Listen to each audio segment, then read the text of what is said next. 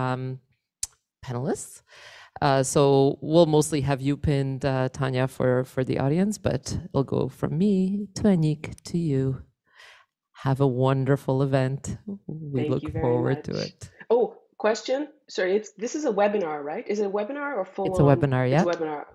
Do I And need we've to mute and unmute myself or you mute and unmute? Like yeah, right you now, I should mute can myself. sure, yeah, go for it.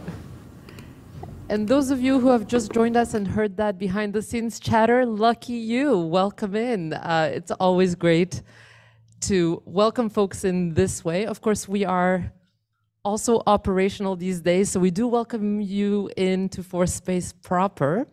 Let me just pull up some good afternoon notes as we get started. Officially, good afternoon, everyone, and on behalf of Fourth Space, welcome. Nous aimerions commencer par reconnaître que l'Université Concordia est située en territoire autochtone, lequel n'a jamais été cédé. Nous reconnaissons la nation Kanyankahaga comme gardienne des terres et des eaux sur lesquelles nous nous réunissons aujourd'hui.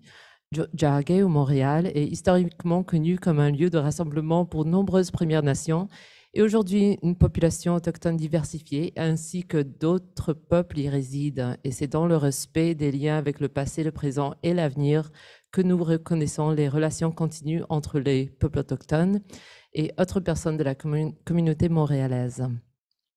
Concordia University's fourth space is activated daily via live events such as today's to create engagement around the various initiatives, dialogues, and projects happening across the university. It's therefore our pleasure to welcome you in person and virtually for this keynote presentation on the future of Black storytelling by Canadian poet, artist, and Concordia alumna, Tawhida Tanya Evanson. Thank you for joining us, Tanya.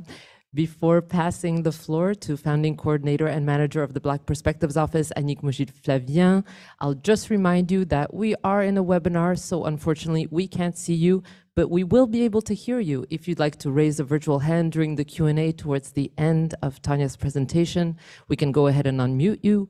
Otherwise, as always, the chat and the Q&A are activated for your reflections throughout Tanya's presentation. Also, we are streaming to YouTube, and I'll put that link in the chat now. Thanks, everyone, and over to you, Annick. Hello, everyone. Thank you so much for being here with us. My name is Annick Maugile Flavien, and as Anna mentioned, I am the founding coordinator and manager of the Black Perspectives Office. Today, we have the absolute pleasure to have Tawhida Tanya Evanson here with us to launch us in a series of conversations around Black storytelling and Black stories.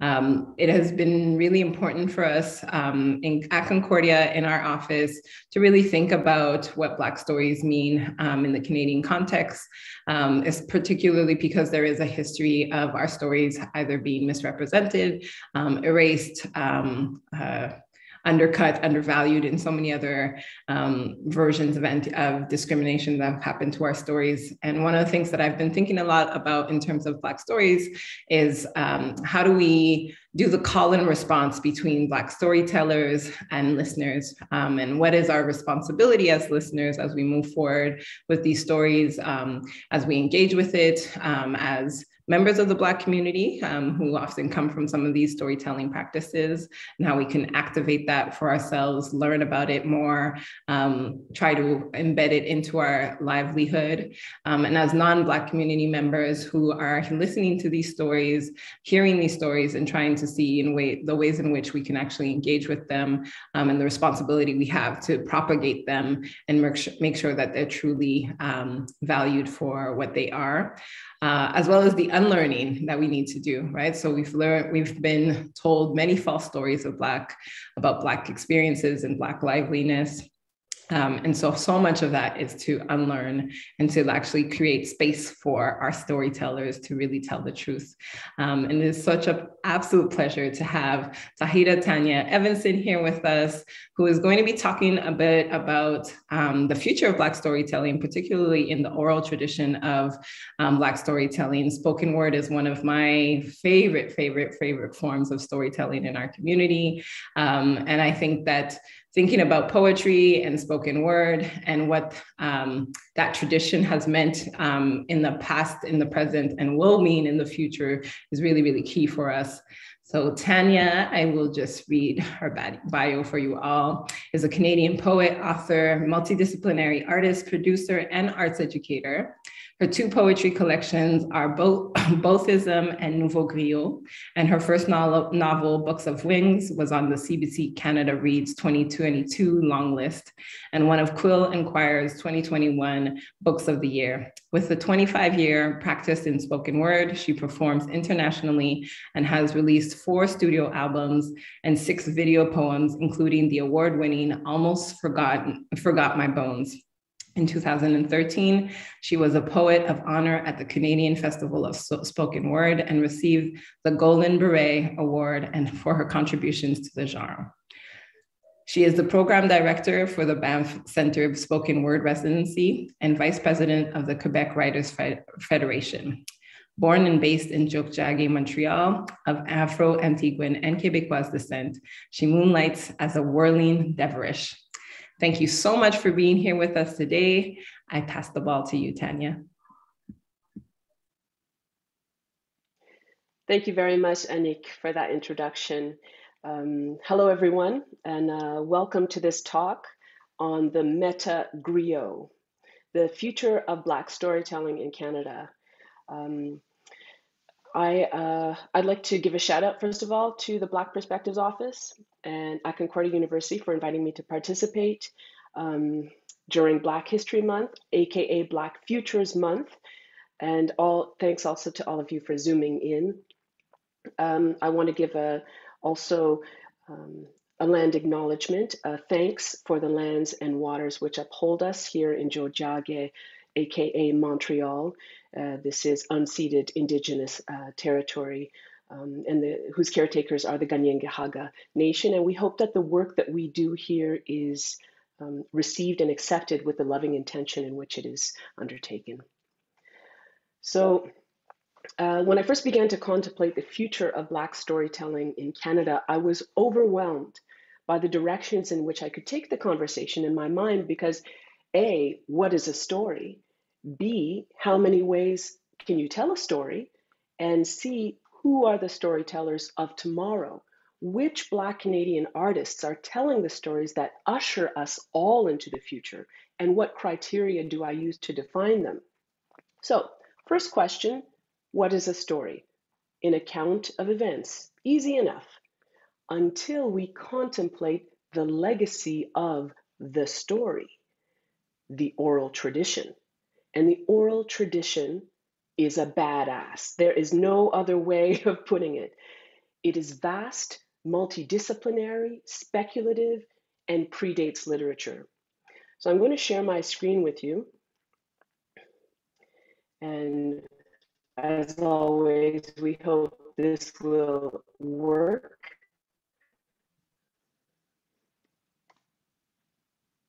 Just uh, Yes, how does that? Oops, we're going to start one more time. Okay. It was looking good, Tanya. And we're Just going back uh, in. Full screen. Yeah. yeah. Yeah, something happens when I do that, and it should work now. Did it? It's just warming up. Give it a second. Okay. It's the storm.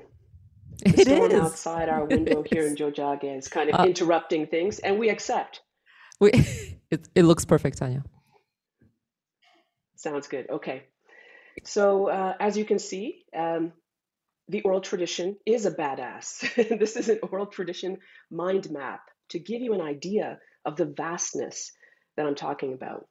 Now, this is a concrete poem exploring all the facets of the oral tradition with the understanding that it emerges from sound, song, speech, and story. Now, this is an incomplete map because there will always be something that the artist, me in this case, because I created this mind map, there will always be something that the artist forgets. Or there will always be something new that has yet to be added or that has yet to manifest. Orality is a vast umbrella and it covers us all, whether we open our mouths or not. Now, Black Canadians working in the oral tradition or working out of the oral tradition have this rich foundation, and it is only the beginning. We come to the second question How many ways can you tell a story? Well, through literary arts, fiction, drama, poetry, prose, spoken word, through performing arts, dance, music, sound art, theater, circus arts, oral storytelling, and visual arts, photography, filmmaking, ceramics, comics, drawing, painting, sculpture, installation, architecture, fashion, food, media arts, digital arts, inter no matter the form. For the storyteller of tomorrow, all platforms are in play. And then we come to the third question who are the storytellers, the Black storytellers of tomorrow, and how do I define them? They are in the tradition of the griot. Now, griot is a French word that refers to the West African keepers of oral history originating in the 13th century in the Mande Empire of Mali. But of course, there's a much older history there, as we know. Now, griots are considered witnesses to the past, interpreters of the present, and oracles of the future. They are revered orators who memorize important events in the village's history births, deaths, marriages, battles. They embody the collective memory of the village by honoring those who've gone before, passing down acquired wisdom for the good of the community. A griot ensures that the community has the perspective of the past, as well as the news of the day upon which to base its decisions for the future. The griot can speak, sing, recite their stories, often to musical accompaniment, and entertain while drawing upon a history passed from generation to generation, from griot to griot. Now, this is the cover of Thomas A. Hale's 1998 book, uh, Griots and Griottes, that I took out of my library. And here are some illustrations from inside. This is a sketch of a male griot from 1846 Senegal. And here is a sketch of a female griot, also from 1846 Senegal, by the same artist, Rafanel. Now, Francis Bebey, um, who's an, um, a West African musician, writes about the griot in his 1975 book, African Music, a People's Art. The West African griot is a troubadour, the counterpart of the medieval European minstrel. The griot knows everything that is going on. He or she or they is a living archive of the people's traditions. The virtuoso talents of the griot command universal admiration. And this virtuosity is the culmination of long years of study and hard work, usually under the tuition of a teacher who is often a father or uncle, or perhaps an auntie or a grandma. The profession is by no means a male prerogative. There are women griots whose talents as singers and musicians are equally remarkable. Now, a griot's job is at the intersection of many jobs. They are poets, historians, advisors, spokespersons, diplomats, peacemakers, praise singers, interpreters, translations, musicians, composers, teachers, warriors, witnesses, storytellers. A griot is also sometimes called a jali or a jelly in Mali. And as you see here, it says again, both men and women can be griots. In addition to all of these job titles, the griot is a diplomat, a mediator, a genealogist, an entertainer, an exhorter, a master of ceremonies, or a ceremony participant. A single label doesn't work here. Now, I define the Black Canadian storytellers as being in the tradition of the griots. And how do I define those storytellers of tomorrow? The meta griots. Now, from the Greek meta, meaning beyond or after or self reflective or self referencing, but not from ego. The meta griot is the Black storyteller of the beyond. Think about well known artists like Saul Williams, FKA Twigs, Erykah Badu, Janelle Monáe, Jordan Peele, Donald Glover. These are all meta griots. And in our case, we're looking at the meta griots in Canada. And this is the criteria that I've uh, used to define them. They are multidisciplinary storytellers. They have varied skills from the griot's toolkit, and they spin original tales. They are cross disciplinary collaborators. They work with artists across disciplines and the future requires all sorts of allies. They are experimenters with technology. They synthesize with new media. They use technology to their advantage, whether the work is live, audio, video, digital, or in the metaverse. And their futures are informed by the past. Black history informs Black culture. We move forward through knowledge of the past, and this is Sankofa. Now, Sankofa is a very interesting concept and a very important one. Uh, Sankofa as a word is, uh, is from the Twi language in Ghana, and it literally means to retrieve or to go back and get. Uh, to give you an example of this, I was in Ghana um, in 2018, no, 2019, and I have a tattoo on my arm that includes this symbol that you can see on the bottom, the, the heart shaped symbol. And this exact symbol is in the tattoo that I have. And I was unaware for decades that I actually had this symbol inside the, um, uh, the illustration, the tattoo on my own arm. And it took another poet to see it on my shoulder in Ghana and tell me, that looks like you've got a Sankofa on your arm. Such is the level of erasure of Black culture. Now, this symbol uh, symbolizes taking from the past, but taking from the past what is good and bringing it into the future, bringing it into the present in order to make positive progress. There's a proverb associated with this. It is not wrong to go back for that which you have forgotten, or that which has been taken, or that which has been stolen. The concept is at the root of so much of the work being done by Black artists in Canada and all across the diaspora. Work that is informed by the past in order to build upon it, a decolonial practice that requires constant practice. Now, this concept is at the root of the Canadian storytellers of tomorrow. There are so many excellent griots in this country on this land, all over the world, and this is just a small assembly. There have been others, there will be others, and please forgive any omissions that I have made here.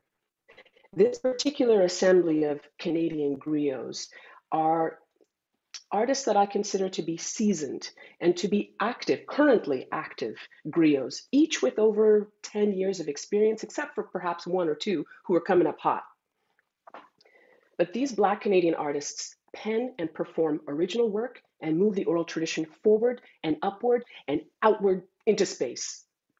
And I don't separate any of these artists from each other because they all exemplify the ingenuity and the genius of Black creativity. You know, I don't separate James Baldwin from Nikki Giovanni. I don't separate Kamau Brathwaite from Amiri Baraka. And I don't separate George Elliott Clarke from Lillian Allen or Titilope Sonuga from Ian Kamau, or Shauntay Grant from Jamal Jackson Rogers. Please note, though, that missing from this assembly are the Black Canadian griots working in French, because that's a whole other talk. it's a whole other presentation. And that's just one other language. But I will mention Jean Pierre Makosso, Joel Janis, Fabrice Koffy, Juju Turenne. These are specific artists working in this tradition, and I just wanted to give them a shout out. From this assembly here of Canadian griots, I consider the meta griots who are thriving in 2022 to be these. Brandon, so this is clockwise from top. Uh, Brandon Wint, Ian Keteku, I hope that I, I, see that I am myself covering up some of these images, but I hope everyone can see them clearly. Brandon Wint, Ian Keteku, Wendy Motion Brathwaite, and Kaie Kellough. Now, um, you know, there's a Hausa proverb. Hausa is, uh, is from West Africa, a tribal group from West Africa. A proverb that says, when the music changes, so does the dance. And COVID 19 has certainly changed the dance.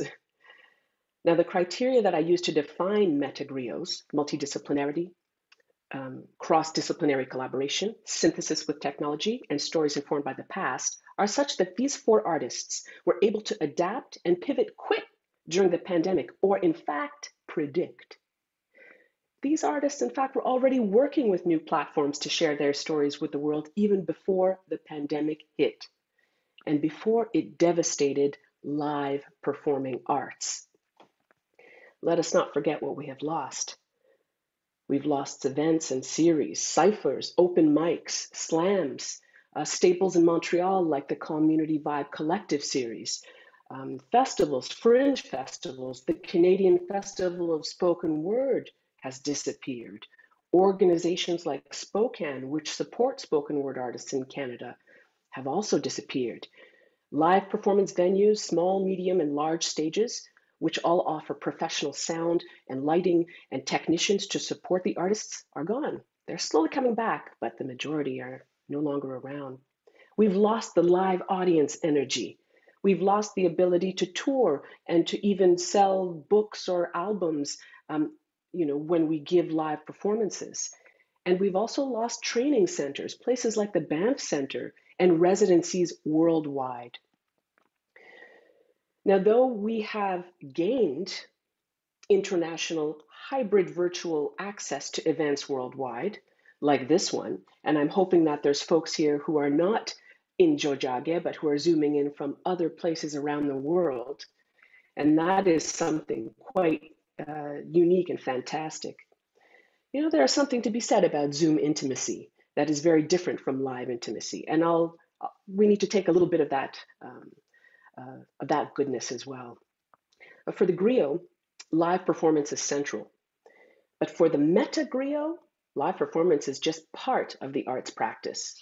And these artists exemplify this. So I'm going to uh, talk to you a little bit about Brandon Wint. We're going to start with Brandon. Brandon is a Vancouver-based Ontario-born poet and spoken word artist who has performed across Canada and abroad. His poems and essays have been published in national anthologies, including The Great Black North, Contemporary African Canadian Poetry, and Black Writers Matter. Divine Animal is his first is his debut book of poetry, and he has released spoken word and music albums and several short films. He is also an arts educator. Now, leading up to and during COVID, Brandon has been busy. Four of his projects co- have come to light in the space of the last two years, and three of those projects have come to light in the last three months. In October 2020, he put out his first poetry collection, Divine Animal, published by Write Bloody North. And I mentioned the publishing house because they are great allies, and I will mention them again later on. In December 2021, he put out a 30 minute short film called My Body is a Poem The World Makes With Me. In January 2022, he put out a video poem called Obsession. And February 18th, 2022, so, you know, yesterday or so, he released his third spoken word album, Freedom Journal Antidotes to Violence. Now, these last three projects are in the last three months.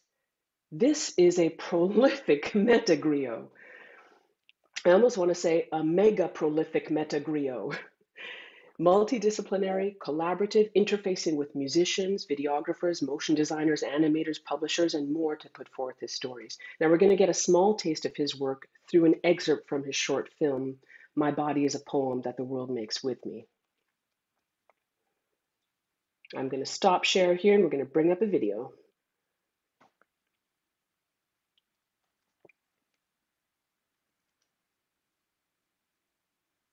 Okay. So I'll tell you a little bit first about um, this uh, excerpt that we're going to watch. Now, the film uses poetry, memoir, illustrations, and family photos alongside motion capture visuals and music to explore the artist's relationship to his body, his disability, and his blackness, particularly in the present and historical contexts of life in the, in the Canadian prairies.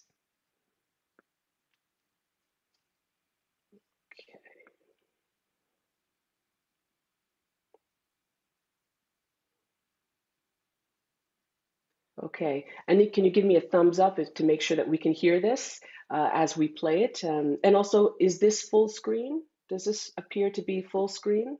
Okay, lovely.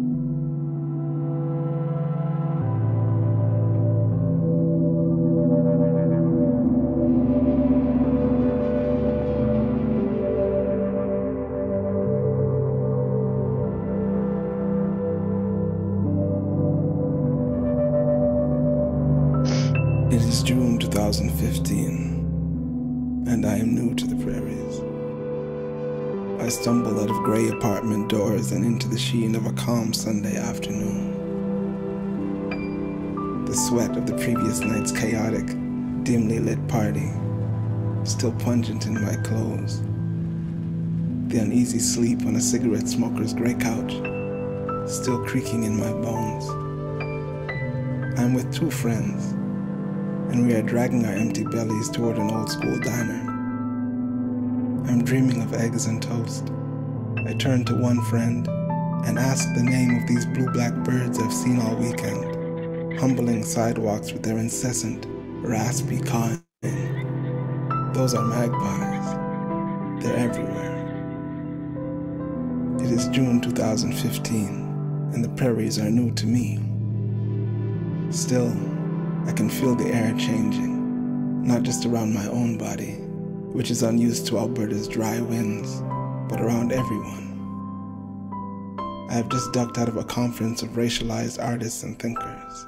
There was an urgency building in the basement and seminar rooms of Edmonton's downtown library.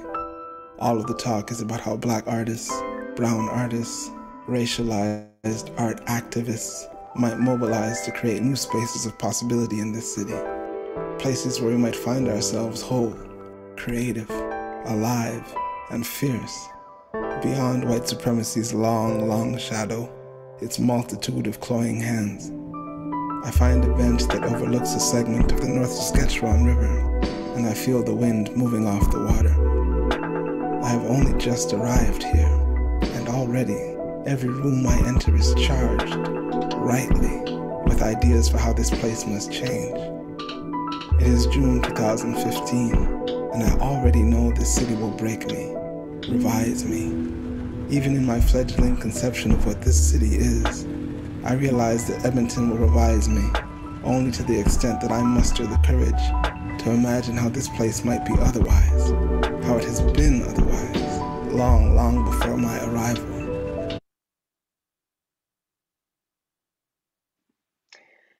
So that was My Body is a Poem, The World Wakes, Makes With Me from 2021, Brandon Wint. And that was just an excerpt of a 30 minute uh, long series of video poems that altogether make one film. Um, I will be uh, sharing links to all of these artists and this artwork in the chat today or a bit later on. Um, but is everything okay? Annick, you can hear me? Lovely.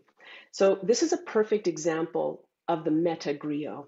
Not only in this particular excerpt is the artist writing the story, narrating the story, acting in the story, directing in the story, but the artist is also questioning the story, questioning the arrival.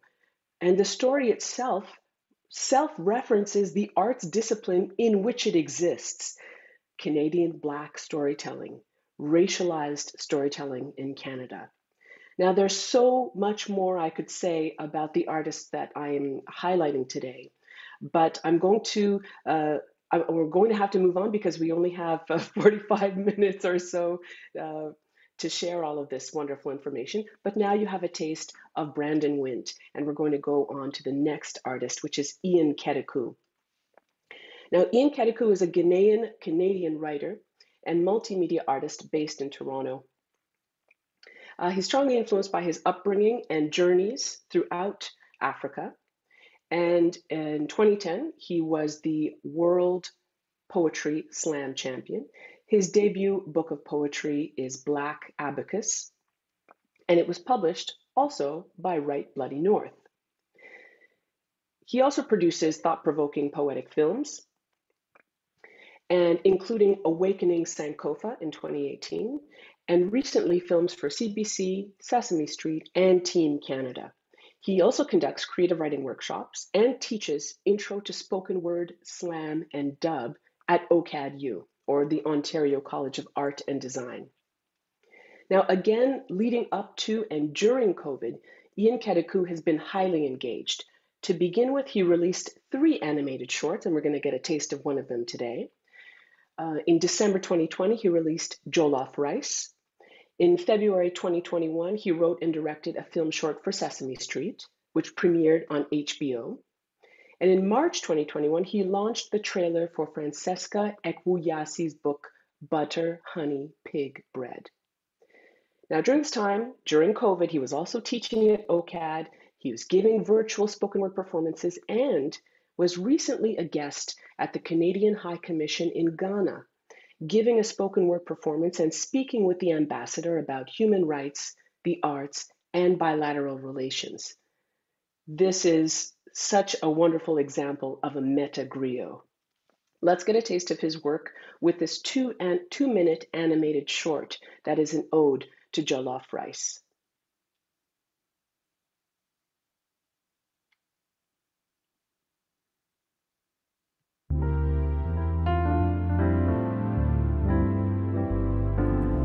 Dinner's in an hour. I figure you know what this dude needs? A little more salt. A little turn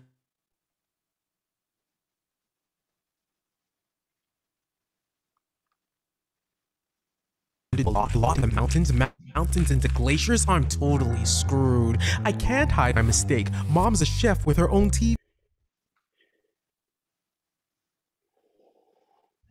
My jollof rice. Jollof rice is more than a dish. It's a symbol of pride and antiquity. Jollof originates from the Wolof Kingdom. However, the countries of Nigeria and Ghana have engaged in the proverbial battle of whose jollof is better, aptly known as Jollof Wars. Once, at a blind taste test, my Ghanaian brother chose the Nigerian jollof and has been banished from the community. It's all subjective. Let's say you're dating an African and they're brave enough to bring you home. His mom loves you, you have 16 degrees, your family is Christian Christian, rich, everything is good, including the jollof. With that being said, I have to represent for the legacy of Dr. Osagyefo Kwame Nkrumah. Ghanaian jollof is the most supreme. If Ghanaian jollof was an athlete, it would be LeBron James. If Nigerian jollof was an athlete, it would be Tonya Harding. Ian, I was forced to write a hundred times, I will not put salt in my father's jollof rice. I will not put salt in my father's jollof rice. Got me feeling like the African Bart Simpson. I learned many lessons that day. One, cooking is not genetic. And two, the beef shouldn't be between Nigeria and Ghana. The beef should be in the stew for the delicious jollof rice.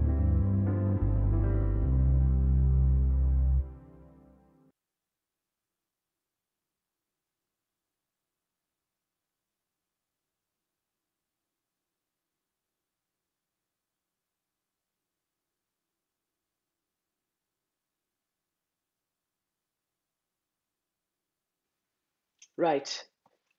Sometimes we still forget to unmute ourselves. How is it possible? Uh, that was Jollof Rice by Ian Keteku.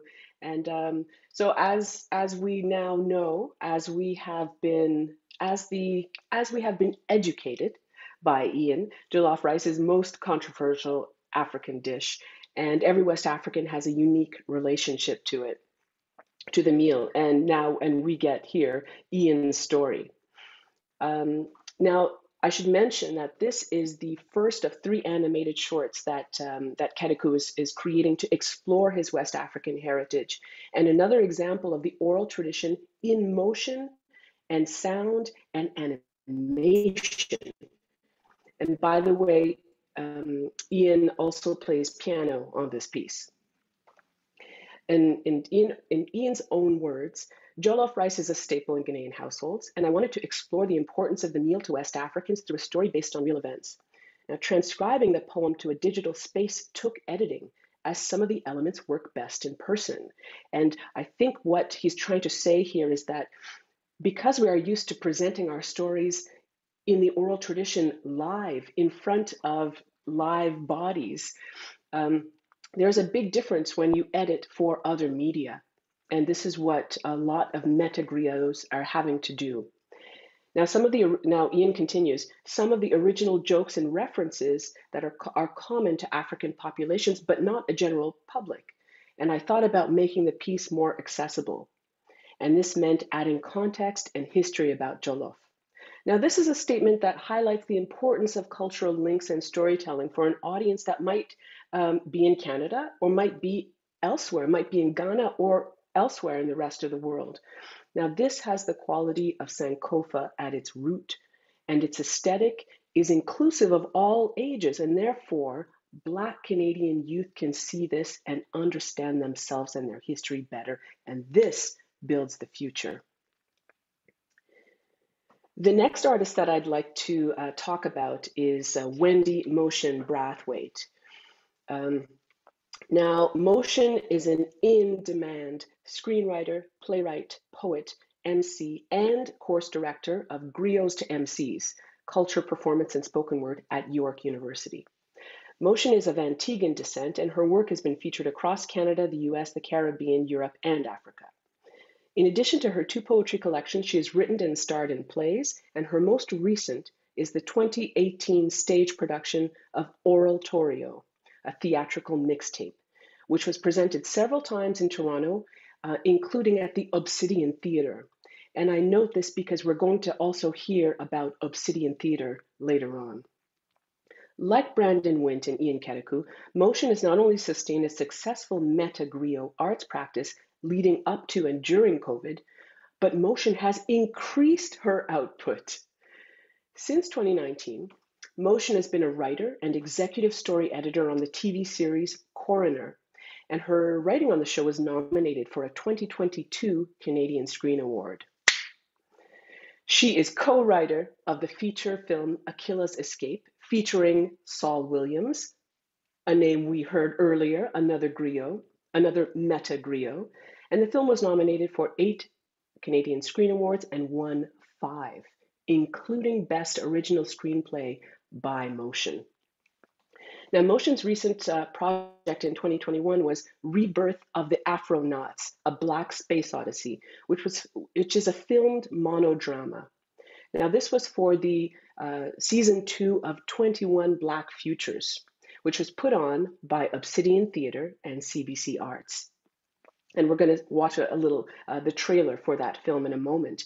But ju- this just in, Motion has announced on her website, which I checked yesterday, that she will be the writer and supervising producer for the second season of CBC's The Porter, which recently premiered um, on CBC. So congratulations for that. This is um, it's really wonderful. This artist gives me the shivers, I gotta say maybe also because I'm of Antiguan descent, and it just is wonderful to know that uh, that motion is is doing all this work and, and having such success.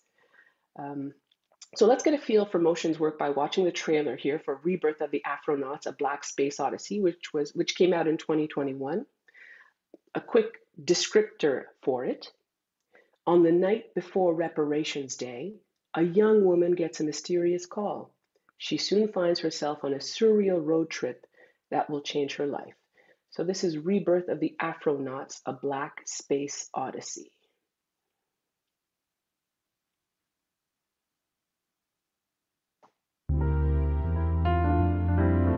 Okay, that was not that one.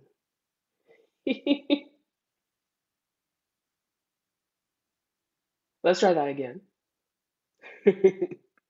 and here we are. All right.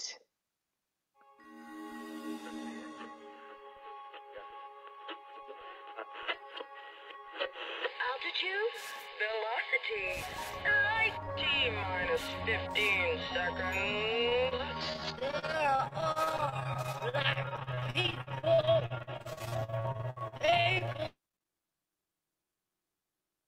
To talk. Out there in the atmosphere, out in space. They take frequent trips to the moon. Belt, boots, backpack, wings. You are not going nowhere without your wings. And for y'all having a quiet New Year's Eve, say goodbye to the last night of the 50s. New year, new we. Crossing you over to Reparations Day. Gonna channel your cosmos with Georgia Anne Muldrow, some Ross G, then throw it way back to the last century. Earth, wind, and fire. Brides of Funkenstein. Star Child. Mothership connection. So no fear, my frozen ones. Your seer is here. Live from the astrolite with the sounds that keep you lit. WSPACE broadcasting from. You are not going anywhere without your wings. This is a, so. This is a trailer for Rebirth of the Afronauts, a Black Space Odyssey. Uh, this was written by Wendy Motion Brathwaite, and this is a 10-minute film. It's a play told in verse. Now, I did watch them, the whole film, and it is available to you. I'm going to be putting the links here in the chat in a moment. Uh, but I just want to mention that this this play told in verse felt for me almost like a new epic of Sundiata, but with a female heroine at its center. And I thought that that was just uh, really brilliant. The film displays themes of Afrofuturism through its content, its music, its visual aesthetic, and it also incorporates ideas around reparations, space travel, destiny, language and technology, identity, and the African diaspora in North America. The film questions who we are as individuals, as people, as a culture, and as a nation, whether first or second generation people of African descent, and what these ethnic and national origins mean within Turtle Island. So we're going to go now to the the last individual artist that I'm going to highlight today because I'm also going to highlight a couple of collectives later on. But the next artist I'd like to talk to you about is Kaie Kellough. Now, Kaie is a, um, a novelist, poet, sound performer um, from Western Canada. He lives in Tiohtià:ke, Montreal, and has roots in Guyana, South America. His books include Dominoes at the Crossroads, short fiction, Magnetic Equator, poetry, and Accordion, a novel. Now, Kaie's writing has been awarded basically the highest prize you can receive in poetry, which is the Griffin Poetry Prize. And he's also received the QWF Hugh MacLennan Prize for Fiction. So this artist is working in two literary genres only, and that's just in print. Now, Kaie has been listed for the Scotiabank's Giller Prize, the Grand Prix du Livre de Montréal, the Amazon Walrus Foundation First Novel Award, the Relit Award, the QWFAM Klein Prize for Poetry, and I'm sure there's more to come. Kaie's work has traveled internationally, and he continues to craft new passages. Kaie's vocal performance uh, and recorded audio. Uh, Kaie has recorded two uh, spoken word albums with music. So vocal performance, recorded audio, and electronic narrative explore migration and the suspension of arrival. This is a very particular context from which to create work that moves us into the future. Did we really arrive here through the transatlantic slave trade? What does that arrival mean? Who arrived and who did not arrive? I think that that is at the core of a lot of Kaie's work, and it's a very interesting notion, the suspension of arrival. Now, since 2011, um, Kaie has created mixed media compositions with saxophonist and synthesist Jason Sharp. Now, leading up to and during COVID, Kaie has upheld also a busy meta griot arts practice. Along with Motion, he was also commissioned to write a play for 21 Black Futures through Obsidian Theater and CBC Arts. And again, we're seeing these allies that are all kind of um, moving among us and moving among the, the meta griots, and it's a beautiful thing to witness.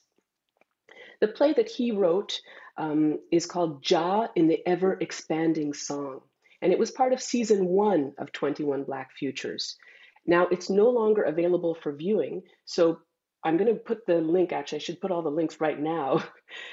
Please do check out season two and three of 21 Black Futures while you still can, so that you can see at least Motion's film and all of the other wonderful artists there. And I will mention also that Kaie collaborated with director and fellow griot, and I will also call this, this human being a meta griot, Debi Young. I'm just going to quickly put these in the chat.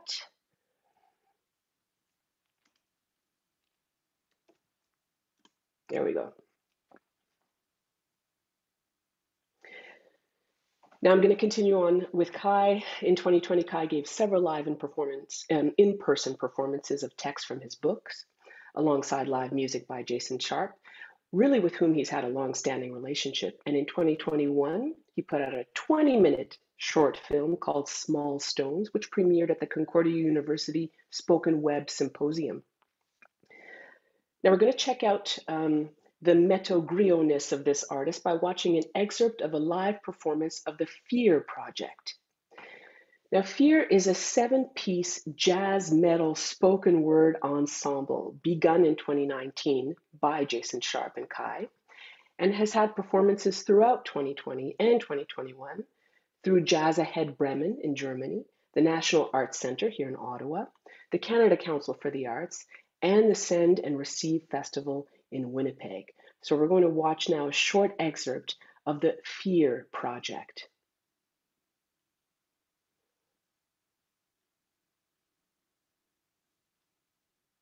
Flooding the future, betrayed by the notion of a future, redistributing each the future, occupying the future, detaining the future, and then detaining the future at the border, drilling into the future, the future, a refugee fleeing the notion of itself, downsizing the future, precarious future, rehabilitating the future, unaddicted to the future, bailing out the future, abdicating the future, recasting the future, insoluble future, tenant of the future, tuition from the future, future, future from the fugitive, from the fugitive, from the fugitive, from the past, robot future with no jobs left, post-apocalyptic few, in the few no people are idyllic, future traveling back,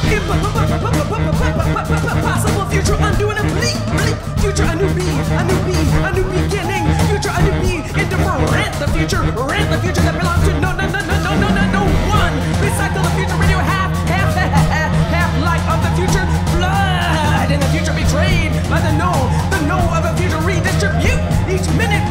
future, occupying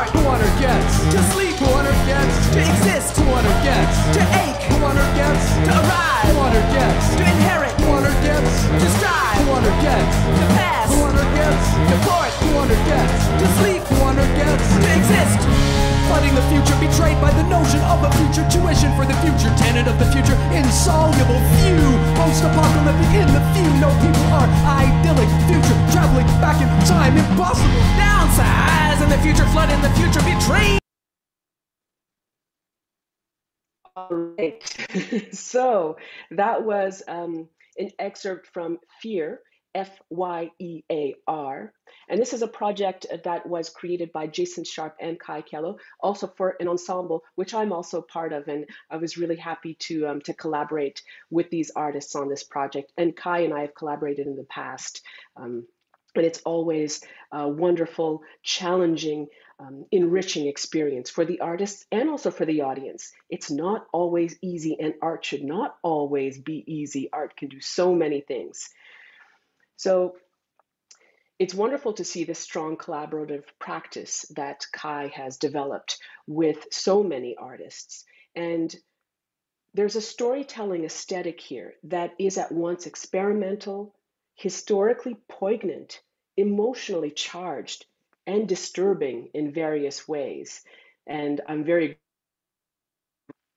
Fyear itself uh, is about 40 minutes or so, and it's a mixed media composition, as you can see, or as you saw, that bridges vocal, musical, visual improvisation with very specific composition. And there are juxtaposed elements of electronic, acoustic instrumentation, focused and abstract language and vocalization, heavy and disturbing noise or heavy metal sounds, combined with expansive melodies that lead to a sense of freedom. So, this is another quintessential Metagriot project multidisciplinary, collabor- collaborative, techno savvy, and one that interrogates the past and the present in order to imagine the future that we will inherit. Now, the future of Black Canadian storytelling lies not only with the individual metagriots, but with the metagriot collectives, right? Consider collectives like Afropunk, right, that operate online and worldwide, or the Chalewote Festival in Ghana, or the Nyege Nyege Festival in Uganda. Now, we have collectives here as well um, on Turtle Island, and I'm going to highlight a couple of them. So I'm going to share my screen again.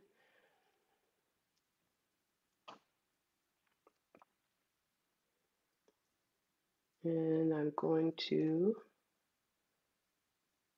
whoop, no, that didn't work again. One more time for the folks in the back. I think it worked now. Annick, we got to go here. Lovely. So these are the Canadian Griot collectives.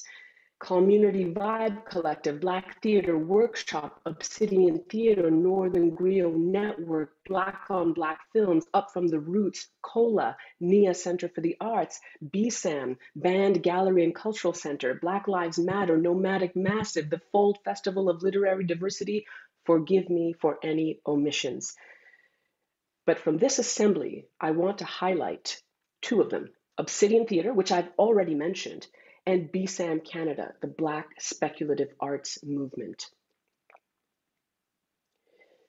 Now, Obsidian Theatre was founded in 2000, and it's a leading culturally specific theatre company in Canada. They produce plays, develop playwrights, and train emerging theatre professionals. They are dedicated to the exploration, development, and production of the Black voice. Over the years, they've established partnerships, both locally and across the country, with organizations like the Stratford Festival, Harbourfront Center, and most recently, as you can see here, CBC Arts. Now, their most recent success is 21 Black Futures. Now, this project is an anthology. Now, listen up.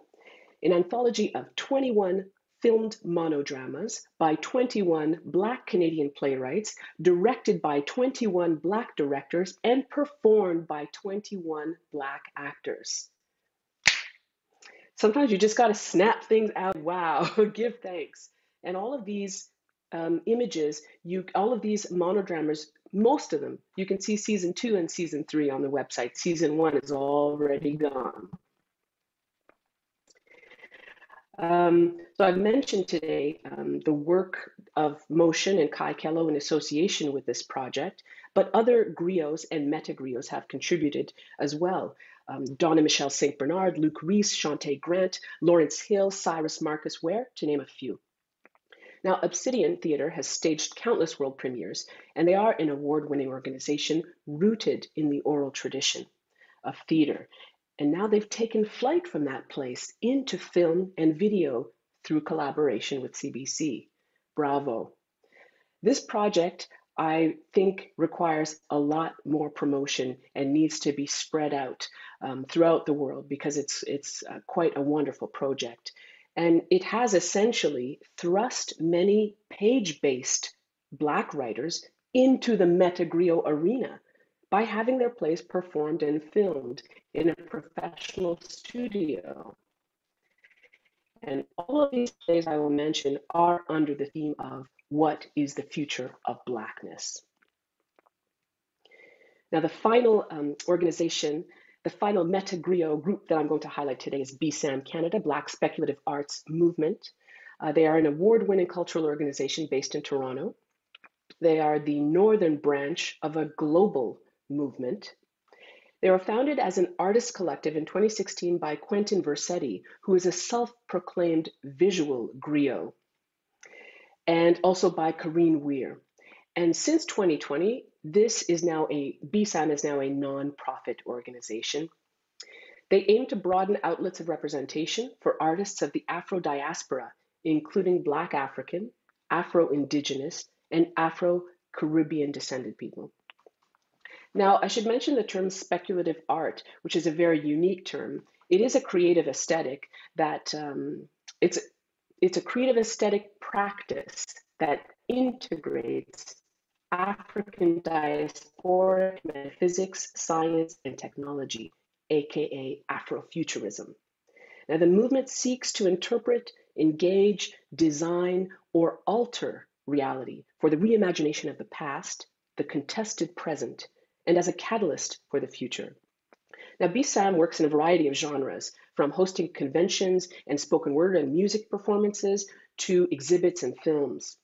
Their current projects are impressive and show a way forward for Black storytelling in Canada because BSAM is a collective that both includes and hosts artists and groups of artists in the creation of new work that intentionally experiments with technology and new media. They, in fact, almost have too many current and upcoming projects for me to, to talk about. So I'm just going to say them very quickly. They've got six that they've done recently and more on deck. They have an ongoing Kemetic yoga series. And for anyone who's not familiar with Kemetic yoga, this is yoga that has roots in Egypt. And many of the postures actually are um, hieroglyphics. And so the postures come from the hieroglyphics on temple walls in Egypt, Kemetic yoga. So BSAM has an ongoing Kemetic yoga series, and they've started that in March 2021. So I'm mainly talking about COVID projects here, or projects that have occurred during COVID. They uh, also helped to create a short film on emancipation called Among Us in 2021, a dance film and artist talk called Tessel, an animated short film called Raheen, and just just a few days ago, February 16th, they launched an exhibit that's on display currently at Artworks Toronto North Hub called Imaginuity. Now, this exhibit is going to run until May, and it's very interesting because it's a multidisciplinary and interactive uh, exhibition that examines past objects created by Black Canadians and Afro diasporic inventors and places them in dialogue with what they could possibly be a thousand years in the future. So this is a museum of 3022 or 3022.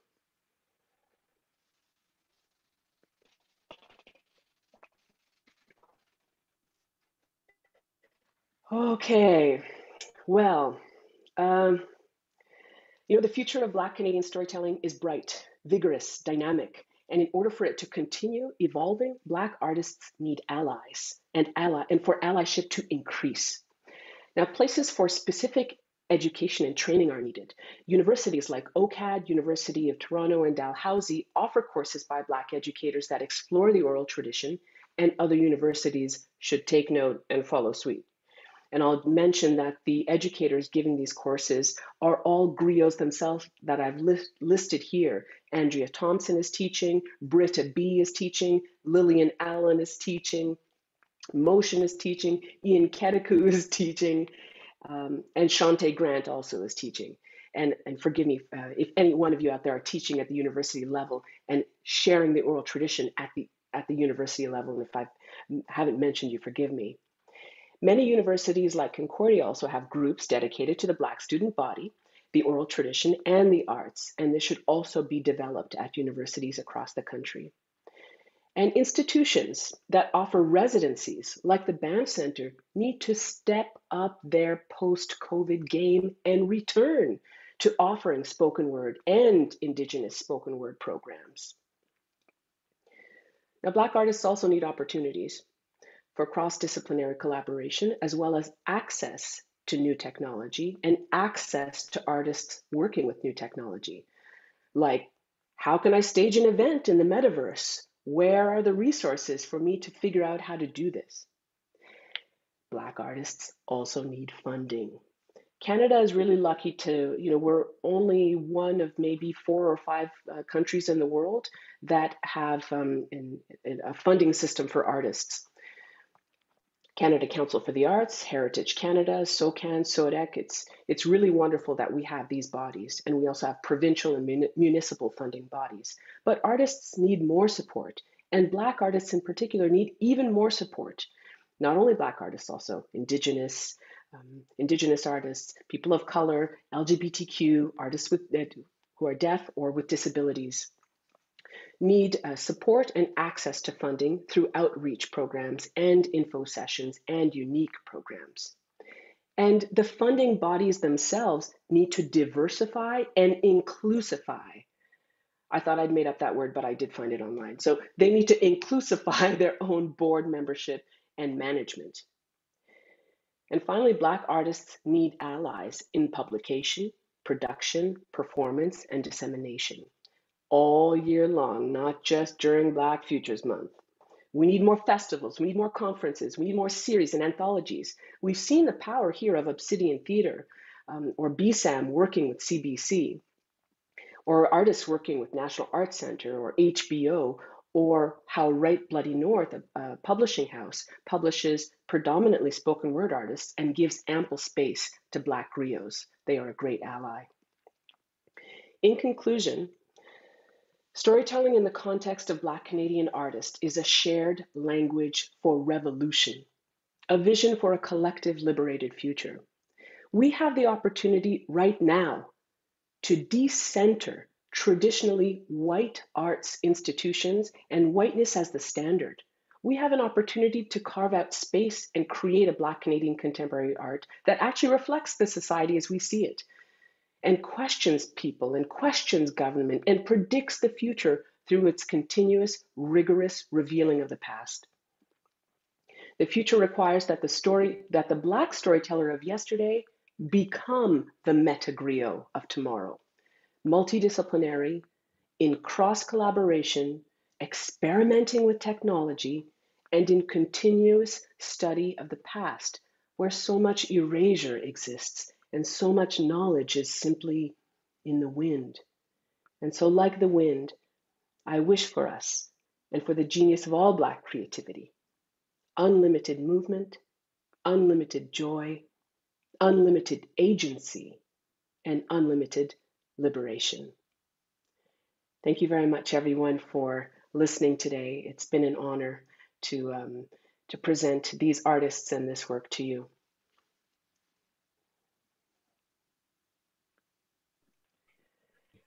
Thank you so, so, so much. Uh, snaps all around. Thank you so much, Tanya. This was absolutely beautiful. I cried, I laughed. you know, uh, I had shivers. Um, it really brought me um, to so many places within my heart, within my soul, in my mind. Um, the, the, comment section was, um, the chat box was popping. So you know that it's a good talk when the, the chat box is popping. So thank you so, so, so much for that. Um, please sign me up for your school. When you open it, I'm there. I will be your first pupil. Please sign us up. It is what an honor. Thank you so much for taking us through that. Um, one of the things that I appreciated so much of what you did is that you really centered the Black Canadian um, canon I think that there is so much, um, we have been contributing to this country for so long. We are this country in so many ways, um, rooted, and, and it's not just contributions, but it is a, um, an identity, right, that has been nurtured and, and fostered by so many. And our storytellers are definitely on the front line of that work.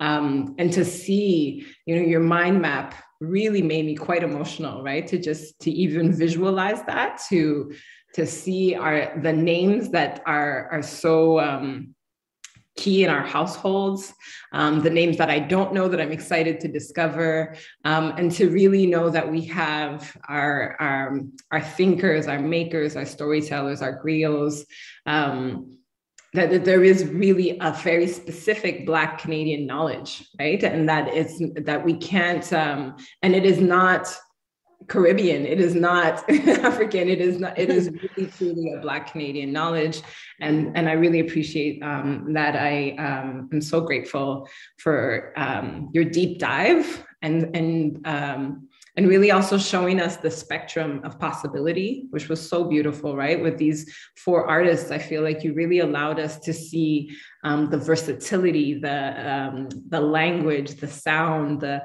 um, the visuals that come with that. Um, as I said, please sign me up for your school. it, is, it, is, truly wonderful. Um, I'm sure that there are questions that are going to come up soon in the question and um, answer um, chat uh, app at the bottom. So if you if you want to ask a question, you can use that button, but you can also raise your hand if you'd like to be unmuted and ask the question yourself.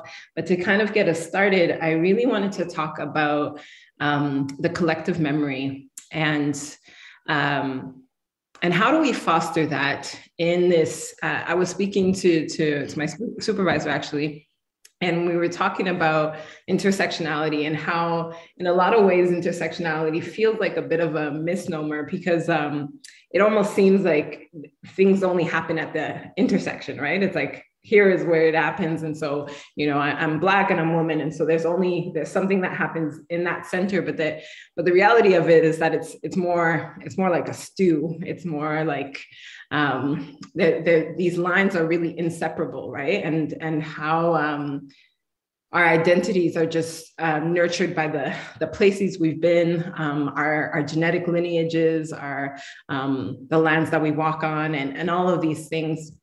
And I'd love to, to hear your thoughts on um, how, how Canada has, in particular in this la- these last two years, because we know that it's, it's been a time of pandemic, but it's also been a time of um, racial awakening. Um, it's been a time of um, uh, kind of social disturbance, which I think is really important for the world because it helps move the word for, forward. And so, how do you see that co- the collective um, Canadian memory has shifted in the past um, two years in order for us to really um, see a, a, deep integration um, and valuing and understanding of um, how Black Canadian stories are deeply part of that? Well, it's a, it's a really excellent question. The first thing when you said in, te- in intersectionality and it's like a stew, and I said, well, then we have to look at every ingredient in the stew. That's we have to go and research every ingredient in the stew. But also, you know, it's not just COVID that has created this awakening. It's George Floyd, and and that has created, and also this technology now that's in our hand, and so that we can actually show, look, this is happening, and it's been happening for a lot like police brutality in the black community or against the black community against basically the community of many marginalized communities has been going on for a long time and now we have evidence. Um, and that has created that has shifted the game. That has created an, an awakening that most of most folks in on turtle island did not know existed unless they were actually directly impacted or part of those communities. And that's a, a, huge step. So now other folks are aware oh, that was happening. That is a story. That is part of history, not only your history, but my history, because we're walking these, this, these lands together. And I think that's a, a really important awakening. And that's why I said we need to do things now and and that's because of i don't want to say sacrifice because a sacrifice is usually something you do willingly. And george floyd did not give his life willingly but it has become something of a symbol for for folks who are not from the black community not from indigenous communities to see what the realities are. And i think that's uh, that was a big spark. And and we need to take that and keep showing it. Because there's a something very interesting that um, I heard uh, not too long ago. You know, there is video evidence of the Jewish Holocaust, but there is no video evidence of the Black Holocaust, of the, the, the Holocaust of the transatlantic slave trade. There's no evidence. And so, how can we know anything? How can we know what our ancestry is, what our ancestral language is? We don't. There's a very interesting book, and I'm glad I actually took it out. um, uh, the Atlas of the Transatlantic Slave Trade by uh, David Eltis and David Richardson. Now, this is a book that was suggested to me by Saul Williams. Again, the, the names keep um, coming up again. And this gives evidence of the places where, um, where uh, African people were stolen and transported and from which places they came and which places they went to. And it traces the information uh, through insurance companies because insurance companies, of course, human trafficking is a business. And so insurance companies have the evidence of what that business is about. And this book has a lot of evidence of that. And so I can actually look at the countries where, so for example, my father's from Antigua. I'm of Antiguan descent. And I can, it shows which countries, um, which boats came from which countries and went to Antigua. And you can see the specific ports that they came from. And so you can see the mix of African cultures that exist in Antigua because of because the insurance companies kept those logs and they are in this book the transatlantic slave trade the atlas of the transatlantic slave trade. Now i haven't ever seen any kind of information like this anywhere else in any other kind of book. So these kinds of things are continuously being uncovered and revealed and they're usually griot to griot as we were saying before right? Another griot tells another griot tells another griot and then we share it with all those around us. Um, because the more we know, the more beautifully we can move forward together. So that allyship, especially when it's across uh, cultures, um, when it's across uh, you know uh, cultural backgrounds, is more informed, is has a stronger base, so that we can move forward together. You know. Um, another example is all of the uh, residential school children that are being uncovered, all of those grave sites this is not new information. So many indigenous people knew about this and talked about and tried to talk about it. And it's it's not a surprise for many people in the indigenous community. It's just a surprise for those outside of those communities. Because again, erasure and a burial not only of actual people, of the whole story of how that came about. So we need to keep digging we need to keep doing that work and there's it's nonstop this uh, this work this kind of sankofa work to look into the past so we can move forward. I don't know if i've answered your, your question. I think i went a little bit off. There's too much to talk about. No this was uh, uh, truly wonderful. And um, I'm going to open the, the question answer uh, segment in a moment. I just wanted to follow up on that. So I've heard so much of um, you know one of the things that i think is is beautiful about your presentation is is really how um, and even just the way that you speak about black history month as black futures month is that there's a moving away from um, the experience and into the story and, and the way that i kind of make that distinction for myself is that you know if we think about um, Black experiences, right? So rupture, displacement, erasure, violence, pain, um, policing, pain, and so on um, the stories that we tell um, our next generations, that we tell ourselves, or et cetera, is not actually um, solely the experience, right? We, we've mentioned the experience, of course, because it informs um, what we're trying to pass on. But what we pass on is resilience, space making, subversion, resistance, um, you know, uh, allyship, uh, joy, all of these things, right? That we've learned from these um, terrible traumatic experiences, but that um, we've built new skill sets in, in, in that. And um, and so one that's one of the things that I appreciate so much of our storytellers is that they do that work. And and in your presentations, you you really talked about how the past two years actually has allowed for some of our you know metagriots to become extremely prolific, right? And so much has come out um, during this time and i'm wondering as a culture as a as a country as you know as a society are we ready to receive these stories um, are we ready like what um, you know sowing of the land that we do need to do within ourselves to really be able to um, to foster a, a, nurturing relationship with these stories and actually allow them to enter ourselves um, and activate the action that needs to come from that right? So in your mind map that, that call and response was there. And i think of that so much when i think about black storytelling of how there is a call but there's a responsibility to respond right? You can't just take the story and be like okay let me go to bed. No you're supposed to take this and have and be a changed person and change the world and so on. Um, and so, if could you speak a little bit about what you feel is the responsibility of listeners, um, whether they be from the Black community or non-Black community, and particularly in a Black in a Canadian context where we have not um, allowed for Black Canadian stories to to to take the space that they they need to. I think you bring up something really, really important, and that's that. Yes, we are telling these stories, and and for Black folks, these are stories of transformation. You know, we're going through all of the emotions and we're constantly going through those emotions.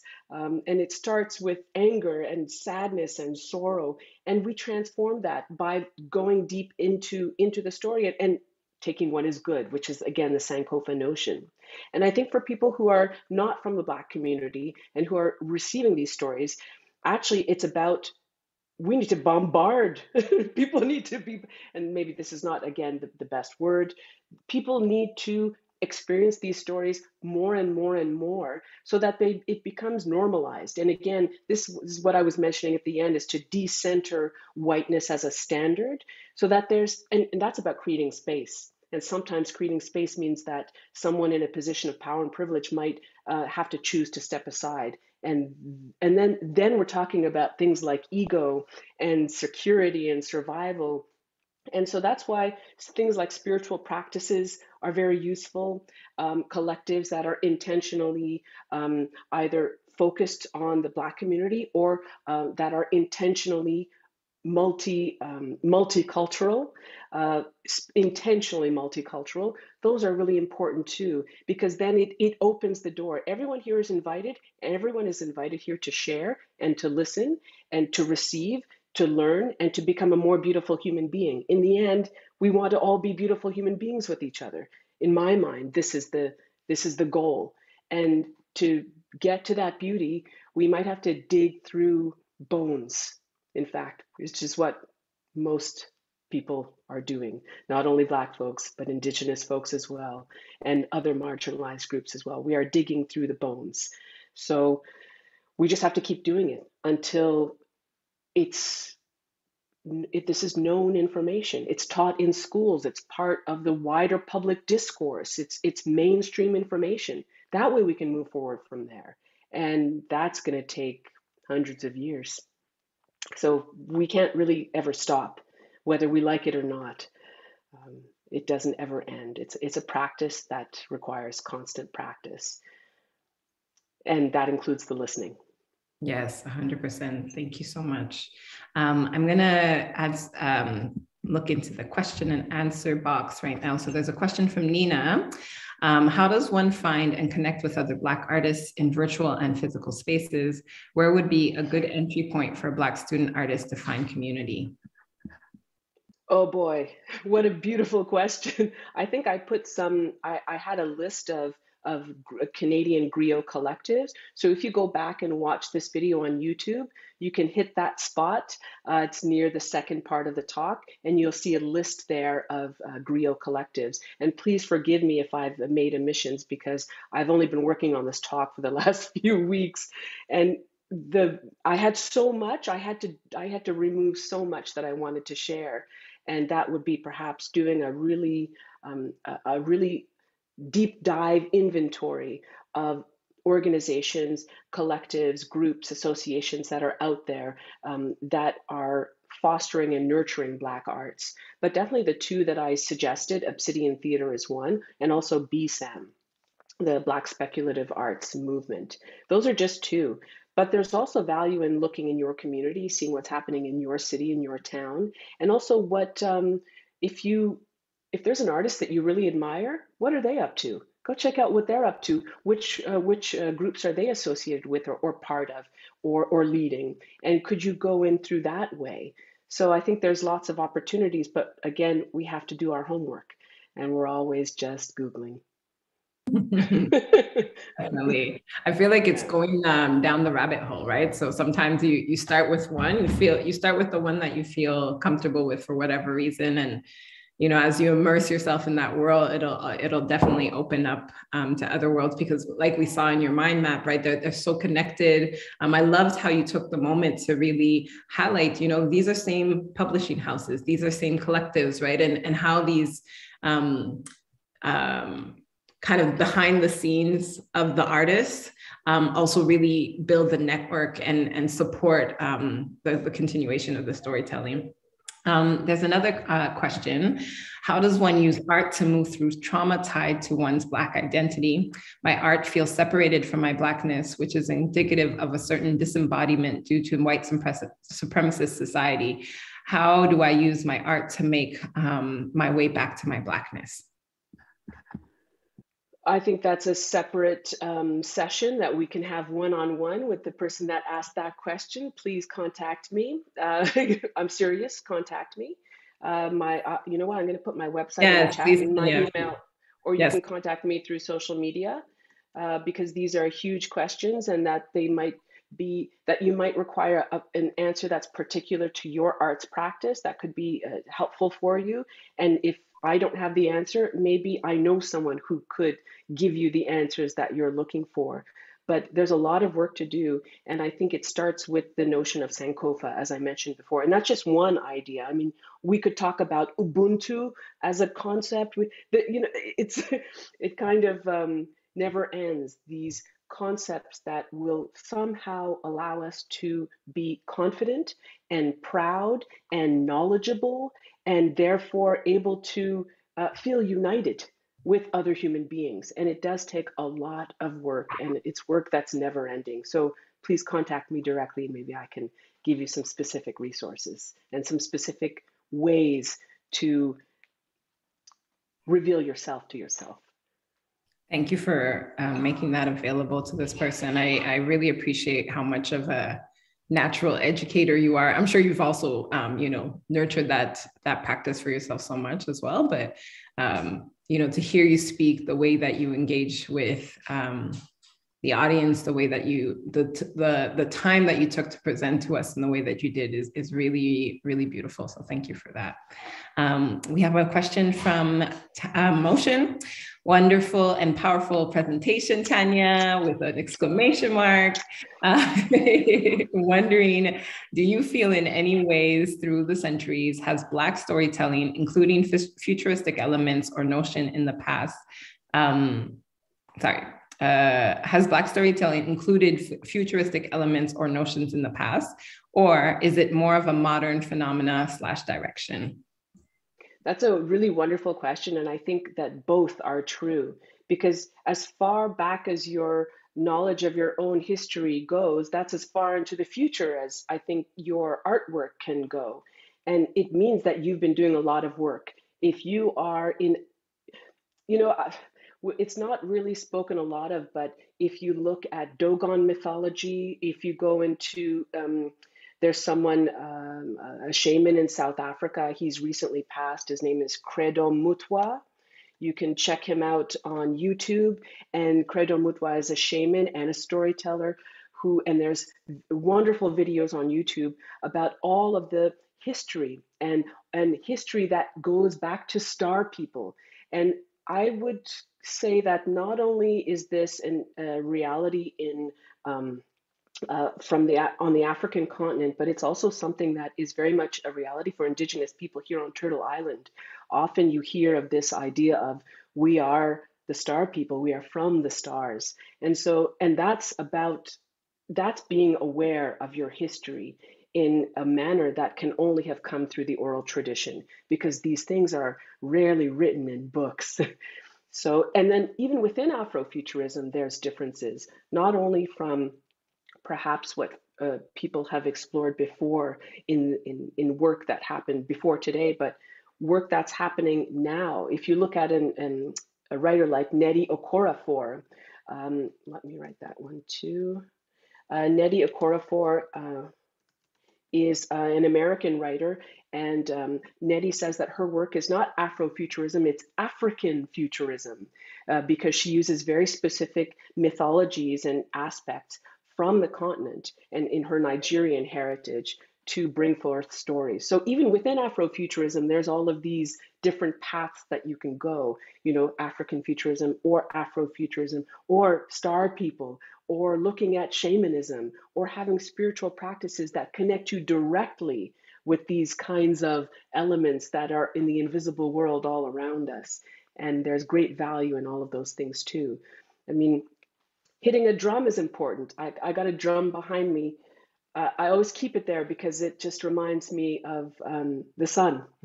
And I like uh, having the sun nearby, even when it's a, a snowstorm outside. It's nice to have that reminder or having artwork around us that is perhaps has um, is from the African continent to remind us who we are and how far back these histories go. It never ends. It never ends. um, I, I, was talking to, I think it was with my mom, and we were just talking about how much, um, you know, we we've been taught that time is linear, but it never has been.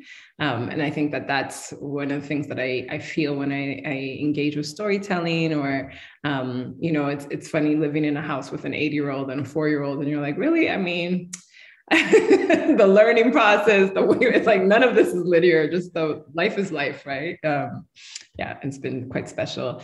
Um, we have another question, which I think is a follow up from the first question. So you might um, want to do this offline, but I'll ask it anyway. Um, I've also been obsessing over how I, how I can connect with my Blackness via my art. How can I create a space with my art to foster Blackness unidentified by whiteness or the white hegemony? I feel uh, I feel often I can't escape the critique of white people. I hear you. In the end, I don't think really it's about the other because the other is you if we can get to that point. So the audience is you, the reader is you, the listener is you. You must feel um, that whatever work you're putting out is strong like a table. And then it doesn't matter what anyone says. They can sit on it, they can have a whole meal on it. you don't even have to be in the room because what you've put out has its own strength. So that's, I think, also part of the, the artist's process is um, share putting work out in the world and then letting it go. I mean, we putting it out is in fact the final process of an arts practice. Um, you know, does the poem exist if it stays in in my journal here at home? Does it really exist, or is the reader the final part of the poem? And this is a notion that I just read recently by a, a UK poet named uh, Roger Robinson. I'm going to put his name here too. And this is also, I would argue, also a metagriot, working in spoken word and music, and also just received several, uh, I think, uh, just received the T.S. Eliot Prize for Poetry in the UK. But this notion that the the person receiving the work is the last part of the work and put yourself there. And if you feel satisfied, there's nothing else. Regardless of any critique that comes, it doesn't matter. What you put out is exactly what it should be, and it has its own strength. And it doesn't matter what anyone does, it's strong like a table. Wonderful. Thank you so much. Um, we're coming to a close. Um, I have just one last question for you. Um, and it's really around how do we continue this practice, the practices, right? So we know that um, griots um, somewhere, uh, I know there's there's legacies of you are chosen, right? It, you it's you're griot by birth. There's some that have schools of griots. There are some that it's genetic. Um, how do you see the education of these the the metagriots to continue? How do you hope to, especially in a Canadian context, is it that you hope that schools will open up, that centers will open? Um, is it that you feel like this is a practice that's individual? What do you hope to see for um, our future metagriots? I think it starts with the individual, but it has to move forward from there. And as I went through this talk, I started to see my own, um, not inadequacies, but areas that I need to work on uh, by highlighting the artists that I highlighted today. They are really wonderful examples, and I'm taking their examples. And one is, oh, I need to collaborate more uh, because I'm, I'm, I'm coming in the, from the spoken word tradition. I've done lots of collaborations there, but recently I'm moving more into print publication, which is, and writing is a very solitary practice. but the oral tradition is not about being solitary. So I think collaboration is really important. And you know, I remember going to the to the library when I was little here in Tiohtià:ke in Montreal. My mom would take me to the library, my sister and I, every week for storytelling time. So it's nothing new. It just needs to return and to increase rather than just disappear and only live um, through a digital sphere. It's expansive and vast. And so the oral tradition mind map that I presented at the beginning, this is something that I created for a commission for a book that's going to come out either next year or the year after. And it's called, uh, the book is called um, Omniverse Lessons for Poets Who Perform. And so the, the oral tradition mind map will be there. And it's there as to show you what rich foundations that Black artists have to move out from. And there's so much to choose from. So it's more about where do you see yourself in that mirror and go into that. And that's not all, it's only the beginning. You might look at the notion, as you mentioned, Annick, of call and response, but that's only one notion of the oral tradition. And so there's so much to do. It's what do you feel is your calling? What is your role? What is your contribution? What is your way of expressing yourself? And perhaps that way today might change in a few years down the line when you meet someone in the metaverse who says, What are you doing? Come and play with us in the metaverse. And then your arts practice grows and changes, and you become also the metagriot. Thank you so, so, so much. This has been absolutely wonderful. Um, my heart is expanded, my mind is expanded, um, just wonderful. I know that in the chat box, a lot of people have asked if the recording will be available. It is available. Um, this is live streaming on YouTube right now. And I believe you put the, the link, in, but maybe we need to put it up again a second time. Um, thank you, Tanya, so much for being here with us. It has been an absolute pleasure. And thank you for um, being our keynote, but also really, um, uh, you know, moving us forward in this continued conversation around Black storytelling at Concordia. It is such an honor to have you here as an alum as well, um, you know, Concordia rep. so thank you so much. We appreciate it.